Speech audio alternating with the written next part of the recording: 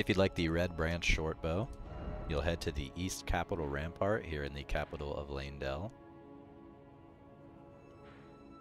And then once you're here, we're going to head out.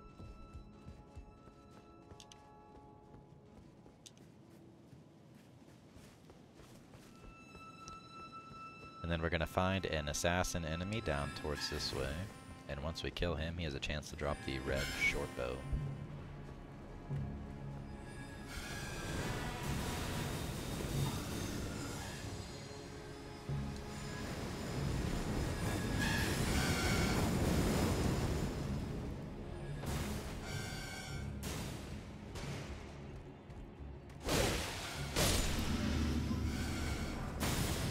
There it is, the red branch short bow. You can see it to the right.